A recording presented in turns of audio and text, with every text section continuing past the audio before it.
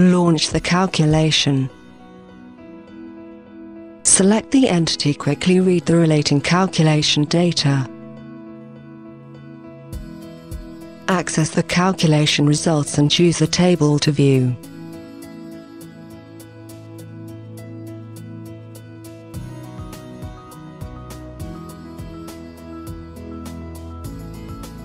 You can also view the results in in 3D.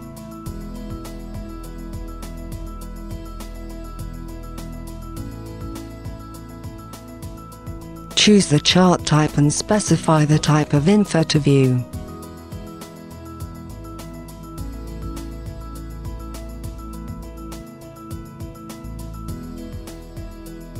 View diagrams or color mapping.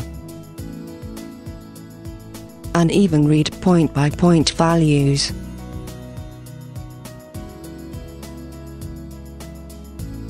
Or see an animation of the diagram.